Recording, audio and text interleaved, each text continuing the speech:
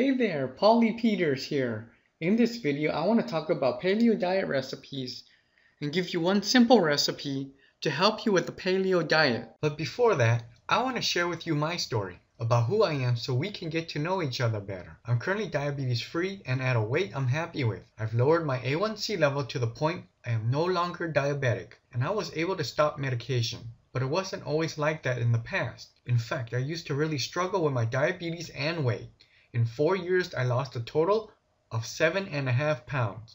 Doing vegan, Weight Watchers, gluten free, you name it, I most likely did it. My diabetes was so bad, my doctor kept telling me that I'd get vision loss, nerve damage, and kidney disease if I didn't change. But then I discovered the paleo diet. I wish I learned about it before I got sick and gained a lot of weight. It wasn't until a colleague at work told me that his neighbor had success with it that I started. I decided to give it a shot as I had nothing to lose. I finally discovered how to control my diabetes, lose the excess weight, and keep it off. After I used the simple recipes in the paleo diet, I was able to go from a depressed overweight diabetic to a normal diabetes free enjoyable life. I'm now able to go to the gym 3 to 4 days a week with incredible stamina.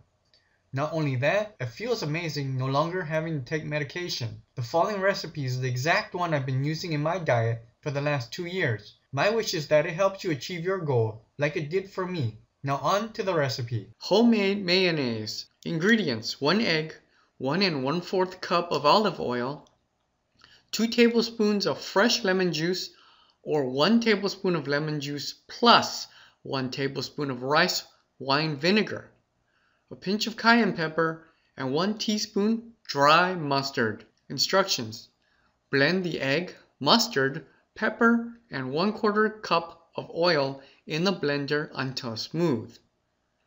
Now add the rest of the oil and blend well. Blend again until well mixed. After blending, take off a lid and add the lemon juice mixing well with a spatula. Put the lid back on the, on the blender and blend again until mixed. Pour into the bowl and refrigerate. And that's the recipe of the day. If you enjoyed this video, then like the video and subscribe to my channel. If you'd like to learn more about the paleo diet so you can experience improved sugar control and weight loss, then click the link below the video, take action and go check it out. Again, click the link below, take action, and go check out the page there.